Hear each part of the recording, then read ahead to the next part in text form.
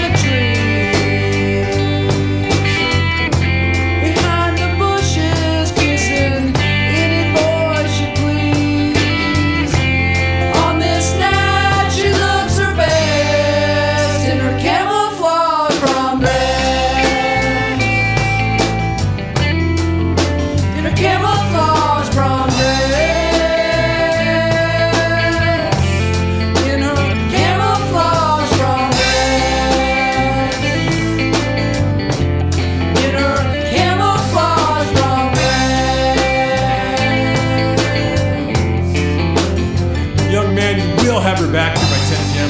It better not be a loophole.